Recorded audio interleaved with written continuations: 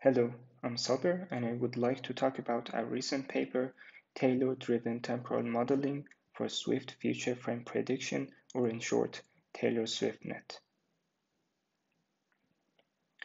Consider a decision-making system like an autonomous car which is receiving the n context frames with blue borders. A pedestrian is appearing from behind a white vehicle and the system must make a decision according to the given frames. If it can predict the future frames correctly, it can infer that it must hit the emergency brake. Otherwise, an accident could happen.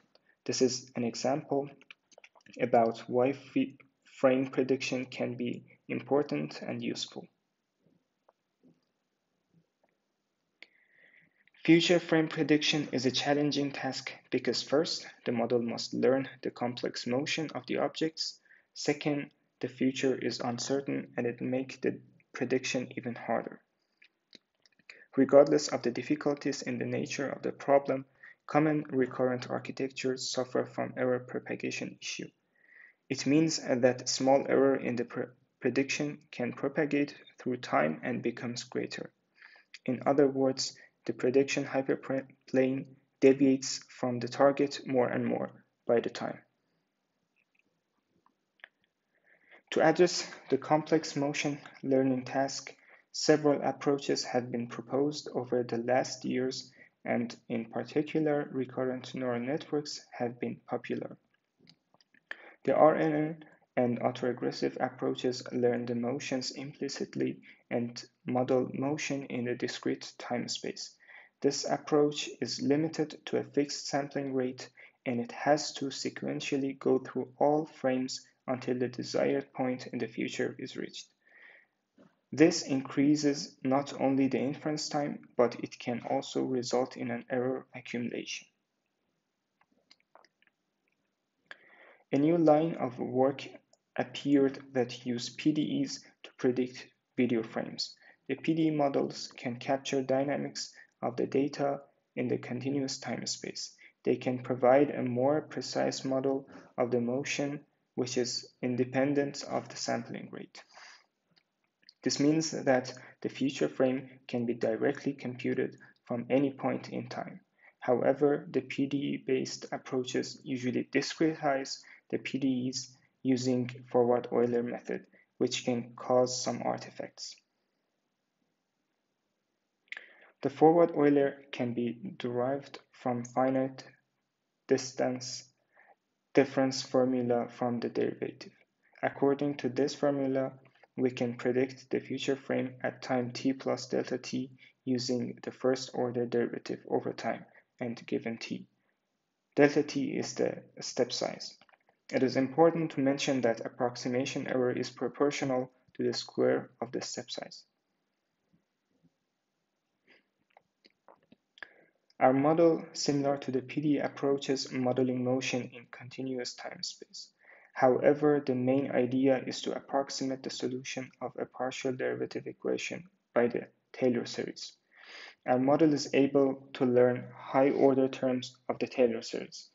The temporal resolution for forecasting can be freely adjusted independently of the temporal resolution of the observation and the desired future frame can be swiftly and directly predicted in just one forward pass. The condition time can be any real positive value and there is no need for a fixed step size. This is also important that Taylor expansion can preserve the continuous representation. Given a sequence of observed frames until time t, the encoder maps them into a latent space. The model infers a continuous function which can be evaluated for any positive value tau in order to forecast future frames at t plus tau. This process can be done in parallel because each feed forward inference can be computed separately. Difference of Taylor expansion and forward Euler. It is clear to see the discrete forward Euler and continuous Taylor series predictions in the figure. Here you can see the main Taylor-Swift net architecture. The network first encodes the input video frames and returns embedding HT. We have used a modified version of 3D ResNet for the encoder. The temporal model models the future temporal dynamics and forecasts the frame at the future temporal step t plus tau in the embedded space, called h t plus tau. We are estimating the high-order Taylor terms recursively. To compute each Taylor term, a convolutional block called delta convolutional block, or in short, DCB, is proposed. Each DC block contains first two convolutional layers using 3 by 3 by 3 kernel size, following by a leaky ReLU which keeps the temporal and spatial dimensions. The output feature map is then fed to the final convolutional layer to output the estimated derivative and the next DC block to estimate the next order derivative. While in our experiments the different DC blocks do not share their weights, we also evaluate a recurrent version with shared weights called RDCB. The decoder is a convolutional neural network that consists of six convolutional layers. It decodes the embedding and predicts the future frame at time t plus tau. We compare our Taylor-Swift net with various state-of-the-art methods.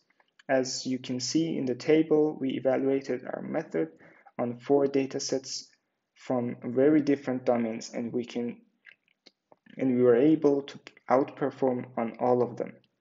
We use mean square error mean absolute error, and structural similarity as our main metrics. We average the metrics over all frames of the predicted output sequence. Here you can see some qualitative results on our datasets. The left GIF is displaying the target and the right one is for the model prediction.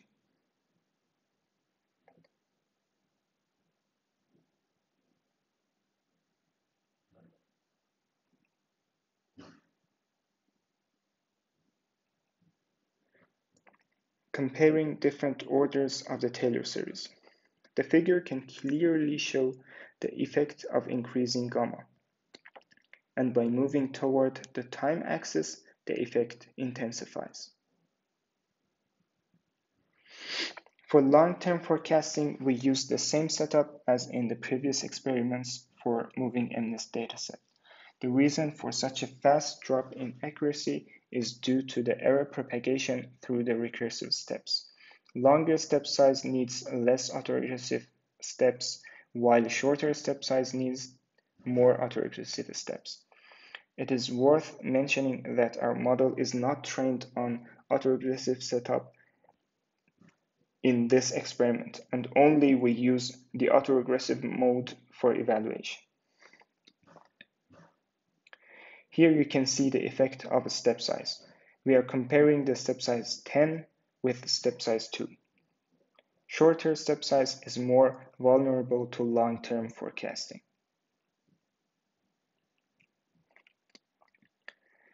The 4 seen frames, 24 unseen frames setup for human dataset.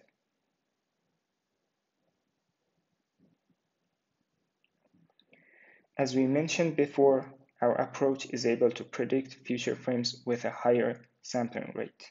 Therefore, we can generate a slow motion version of the normal prediction. To demonstrate that our accuracy is due to the proposed architecture and not due to the encoder and decoder, we compared it with two variants with the same encoder and decoder. Here you can see the architecture of them.